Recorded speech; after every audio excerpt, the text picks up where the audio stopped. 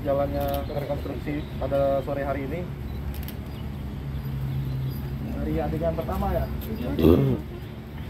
Ke saudara IA bener nih ini nih. Betul nih ini.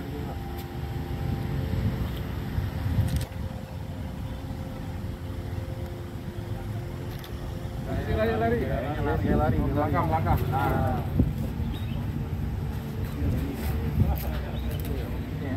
ya terus. Nomornya nomornya 4. Nomor 3 ya? Tiga masih Tiga, Bang. Ya. ini dia dobelnya gini ya Ya.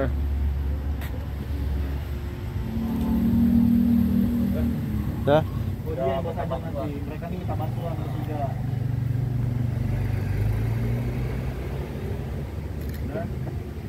Rekonstruksi pembunuhan terkait masalah futsal ini kami lakukan sebanyak 11 adegan dimulai dari pelaku berkumpul dengan teman-temannya kemudian ada temannya minta tolong karena terkait perselisihan di lapangan futsal kemudian sampai saat pelaku melakukan tindak pidana yaitu melakukan penganiayaan yang menyebabkan korban meninggal dunia terhadap satu orang dan satu orang lagi luka di bagian tangan